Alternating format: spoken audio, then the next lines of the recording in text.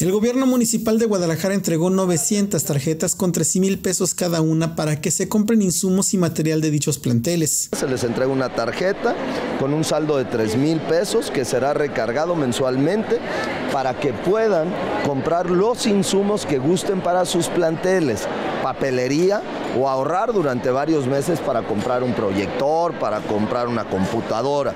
Es decir, es un apoyo directo a los insumos de las escuelas. Las tarjetas de débito forman parte del proyecto De Buenas a la Escuela. Con imágenes de Sergio Lague para Jalisco TV Noticias, Juan Carlos Huerta Vázquez.